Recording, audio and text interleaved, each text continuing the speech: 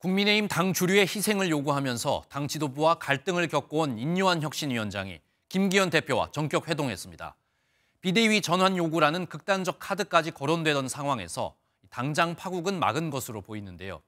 김기현 대표는 당장 희생 요구를 받을 수는 없지만 혁신 결과물을 내겠다고 했고 인요한 위원장도 의지를 확인했다며 한 발 물러섰습니다. 유호정 기자입니다. 주류 희생안을 놓고 정면 충돌하던 두 사람이 악수를 나누고 김기현 대표는 이뇨한 위원장에게 수고했다는 인사를 건넵니다. 또 실천 가능한 것들이 상당 부분 많이 있기 때문에 그런 점들을 잘 존중하고 녹여내서 결과물로 만들어내야 되겠다.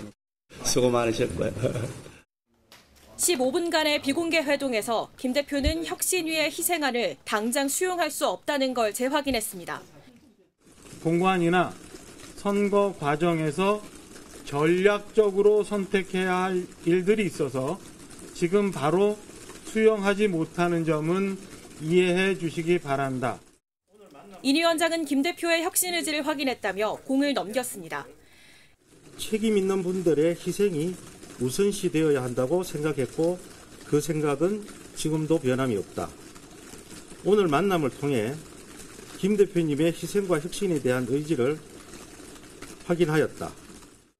의원 개인의 거취는 최고의 의결 사항이 아니라는 지도부 입장을 수용하고 한 발 물러선 셈입니다. 인 위원장은 입을 굳게 닫은 채 자리를 떠났습니다. 갈등설은 봉합이 된 건가요? 혁신위는 오늘 회동 결과와 함께 추후 계획을 논의할 예정입니다. 다음 주 월요일 당 지도부에 그동안 내놓은 혁신안을 종합 보고할 계획인데 사실상 혁신위 활동은 종료 수순에 접어들었습니다. MBN 뉴스 유호정입니다.